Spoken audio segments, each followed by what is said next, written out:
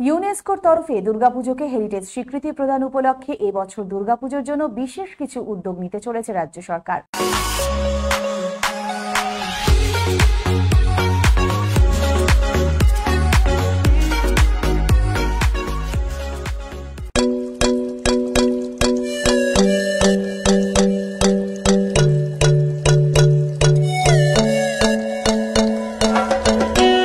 বাংলার এই স্বীকৃতি আর সেই স্বীকৃতি একটু অনুষ্ঠান করে না করলে কি চলে? আর তাই তো এই বিশেষ উদ্যোগ রাজ্য সরকারের তরফে। দুর্গাপুজোর ঠিক এক মাস আগে থেকেই এই উদ্যোগ গ্রহণ করা হচ্ছে। অর্থাৎ এক সেপ্টেম্বর রাজ্য সরকারের উদ্যোগে যে উদ্যোগ নেওয়া হচ্ছে তা হল রাজ্যের প্রতিটি জেলায় দুপুর একটায় উলুধ্বনি, শঙ্খধ্বনি এবং দোয়া করে সর্বধর্মের মানুষের তরফে ইউনেস্কোকে ধন্যবাদ জানানো হবে।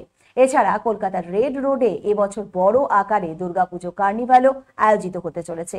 মুখ্যমন্ত্রী আরও নির্দেশ দিয়েছেন যে ইউনেস্কোর দুর্গাপুজোকে যে বিশেষ স্বীকৃতি দিয়েছে, তা স্মরণে রেখে এবছর বিশেষ লোগো রাজ্য সরকারের তরফে তৈরি করা হচ্ছে। এই উদ্যোগ সঠিকভাবে রূপায়িত করতে মুখ্যমন্ত্রী ইতিমধ্যে সংশ্লিষ্ট মন্ত্রী এবং আধিকারিকদের প্রতিটি জেলার জেলাশাসক এবং পুলিশ সুপারকে বিশেষ নির্দেশ পাঠাতেও বলেছেন। আপনাদের আমি বলে রাখলাম দুর্গাপুজো কবে এবারে? এক্স্যাক্ট ডেট সপ্তমী কত তারিখে? কার কাছে আছে? তিন, চার না পাঁচ অক্টোবর? বলো। হ্যাঁ? Third October Saptami.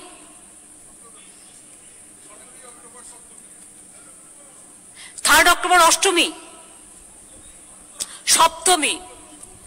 First September একটা প্রোগ্রাম নাও। প্রত্যেকটা জেলায় আমি ডিএমএসপিদের এখন থেকে বলে রাখছি, সবাইকে বলে রাখবেন। বেলা একটার সময় অরূপ দুর্গাপুজোর যে কমিটিটা আছে, কথা বলে নেবে, তারা সকলে জয়েন করবে। কলকাতা পুলিশ অল ক্লাবকে ইনভাইট করবে।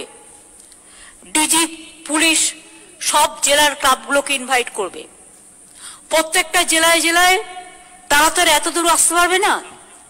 মানবাধিকার ধর্নার মতো করে তারা সলিডারিটি দেখাবে একই টাইমে বেলা একটায়।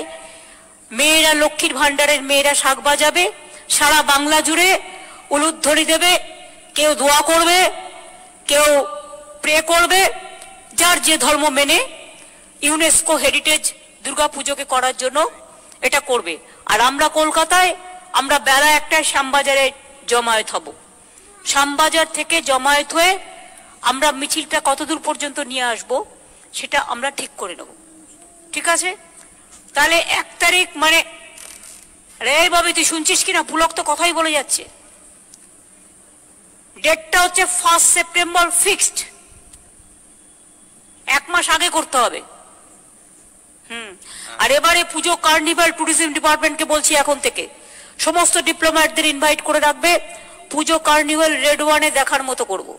রেড রোডে আর এই মিছিলটাও যেটা, যে যেরকম পাবে আলোকময় করে, পুজোর আগে সবাইকে এক মাস আগেই আমরা রাস্তায় নামিয়ে দেবো।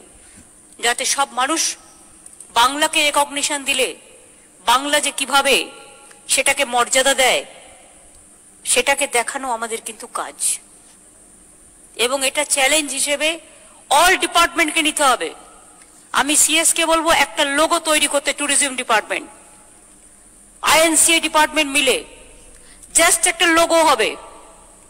এই ইউনেস্কো হেরিটেজকে কেন্দ্র করে প্রত্যেকটা ক্লাব ওই লোগো যত হোর্ডিং আছে, যত বোর্ড আছে, সারা বাংলা জুড়ে ব্যবহার হবে।